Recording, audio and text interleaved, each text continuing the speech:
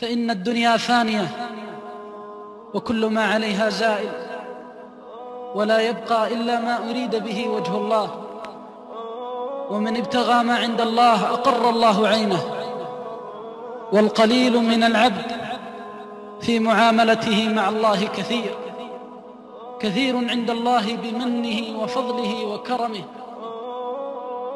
فقد تكون الخطوة إلى طاعة وبر موجبة لمحبة الله للعبد محبة لا يسخط بعدها أبدا.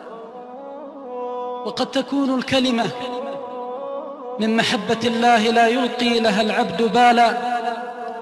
يكتب الله بها رضوانه إلى يوم يلقاه.